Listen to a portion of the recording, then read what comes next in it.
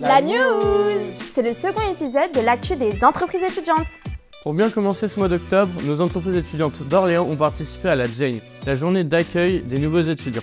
C'est l'occasion parfaite pour rencontrer des étudiants de toute la métropole et présenter nos entreprises étudiantes. À Paris, c'est la soirée d'intégration organisée par nos entreprises étudiantes qui a lancé le mois d'octobre. Petit plus, nous avons même eu le campus d'Orléans qui a pu se déplacer grâce au B2 Airlines.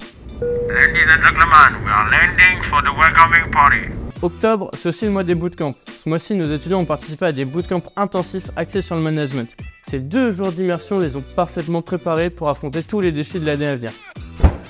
Octobre Rose est un moment spécial pour nous. La traditionnelle photo Tous en rose a eu lieu sur les deux campus afin de soutenir la lutte contre le cancer du sein.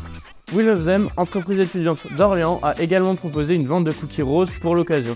Le 25 octobre, Human a permis aux étudiants mais aussi au staff de se mobiliser afin de donner son sein en partenariat avec le Rotary. Une atmosphère bienveillante et engagée afin de donner espoir et soutien. J'offre espoir et soutien.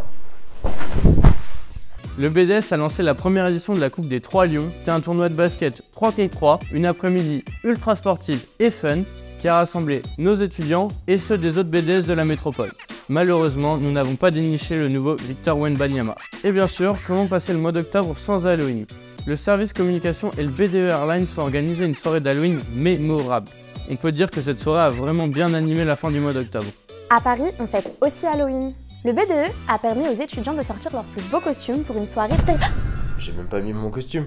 Et le BDA a pensé à tout, en proposant un atelier maquillage pour l'occasion et une diffusion de films d'horreur à l'école. Toujours pas. À suivre.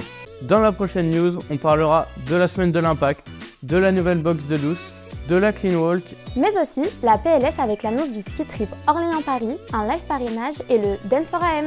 À bientôt A plus